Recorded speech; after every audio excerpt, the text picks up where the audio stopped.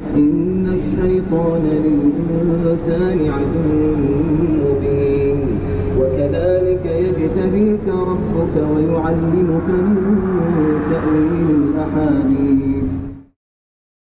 الفكرة عندي مدة عندي مدة وأنا ندير في البرنامج هذا. وكسبت عدة سيارات والسيارة الوحيدة اللي مساعدتني وندي بلاصي ونسافر بها وجامي خلاتني كيما نقولوا حنايا en panne ولا ما الحمد لله يعني نسافر بها في partout ونروح jamais خلاتني en panne ولا jamais؟ لا ليست بمغامرة يعني الحمد لله سيارة جيت بها من الجزائر إلى السعودية الحمد لله ما عملت شي كيما نقولوا حنا عادية وكأنه في سيارة جديدة.